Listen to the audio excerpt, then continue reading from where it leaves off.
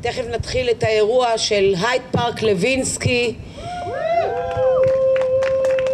פעם ראשונה שאנחנו אה, עושות ועושים את זה אתה כבשת אותי תתבייש לך, לא רוצה לדבר. איתך, תצא לי מהבית, תצא לי מהבית. לפני המאמץ הממשלה כלפי אני כילידת שכונת נווה שנה אני יכולה להעיד שבאמת החיים פה הפכו מאוד מאוד קשים, אבל שוב, אנחנו באנו באמת לבוא ולדבר. להקשיב ולנסות ביחד לשנות את המצב.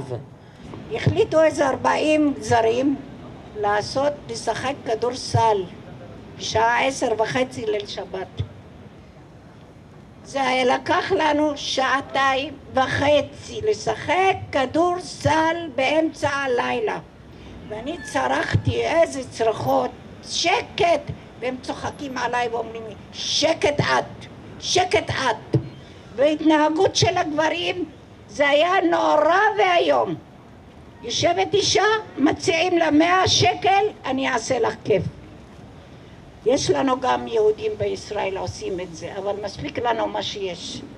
אני לא נגדם, אני לא באתי לשלוט על המדינה שלהם. אני רוצה להבין, איך אפשר לחיות ככה? תסבירו לי.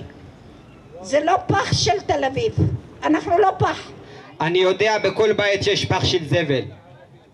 אני יודע בכל... יש אריתראים שלא נחמדים, יש מבקשי מקלט שלא נחמדים, יש גם תושבים שלא נחמדים. אבל אני מסתכל לצד הנחמד. הוא סודני ואני אריתראי ואני מאמין הוא בן אדם ואח שלי. ככה ההורים שלו גידלו לך. איתו בחזרה למדינה שלכם, שם. זה לא המדינה ואני אזמין. אותך גם לבית שלי. אתם אני אזמין אותי. אני אזמין אותך גם לבית שלי. במקום לבנות מיליונים של דולרים, לבזבז אותו במתקן חולות, למה לא לשפר את השכונות האלה? למה? ויש כאן עניין של אה, מביאים אה, עשר אלף שקל לסטודנטים אשכנזים שבאים מבחוץ, שהם אה, לומדים באוניברסיטת תל אביב, כדי לגור כאן. רק בשביל שלגור כאן. ואנחנו תושבים ותיקים, אנחנו לא מקבלים כלום. אם היה לי אישור עבודה והיה לי מעמד פליט, אני מת לגור בהרצליה ביטוח. אני מת לגור שם. אני מת, אני מת לגור שם. אבל אני מאמין, אני אעמוד ככה, ואני אלחם כי אני מגיע לי מעמד פליט ואני פליט. איך מתקרבים אחד לשני? איך פותרים? למשל הייתה פה אישה שאמרה, מאוד מפריע לי שאתם משחקים כדורסל ביום שבת, זה, אני שומרת שבת. התקווה היא באמת שמבקשי המקלט ישמעו את זה ויגידו, אוקיי, אז איך אנחנו חיים פה ולא ממשיכים להפריע? או כל צד צריך לשמוע, אפילו לשמוע ברמה הפיזית של לא רק לדעת, לשמוע, להסתכל למישהו בעיניים, לשמוע, קשה לי שאתה פה. קשה. הם כרגע זה מציאות, הם נמצאים כאן ואנחנו צריכים לעשות את המקסימום על מנת שנלמד לחיות ביחד. אנחנו לא מגרשים מישהו שאין לו לאן ללכת.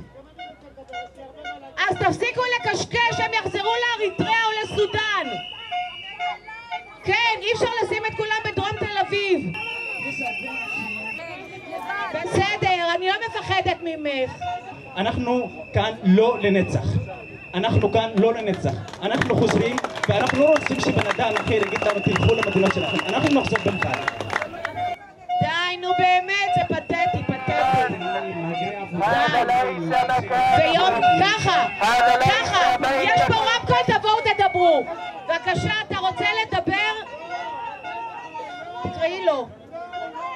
אה, הנה, סתימת פיות. אם כל הדיבורים איתם לא יעזור.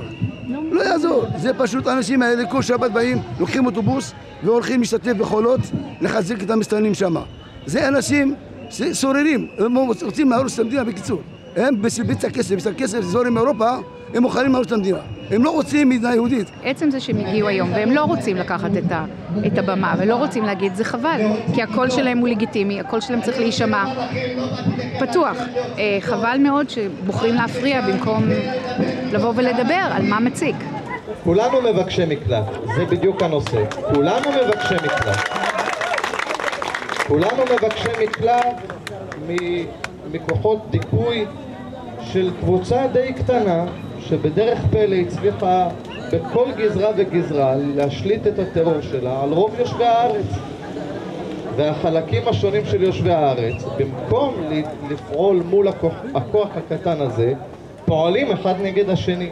מבחינת הממשלה, מבחינת העירייה, יש פה כל הזמן עשייה של הפרד ומשול. לגרום לקבוצה אחת להסתה כנגד קבוצה שנייה. לא מקדמים שום דבר כתוצאה מזה, אנחנו רואים לאן זה מוביל.